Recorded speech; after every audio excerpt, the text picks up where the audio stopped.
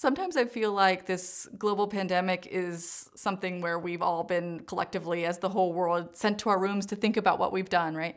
What we've done to the planet, what we've done to each other, what we've done to overscheduling our kids and feeling disconnected from one another. So we have a real opportunity now.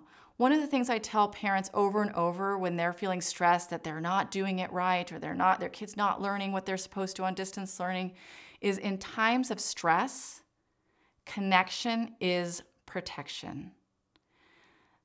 Your children are going to have the opportunity to look back on this time and be like, that was a time where mom and I played hide and seek in the middle of a school day, right?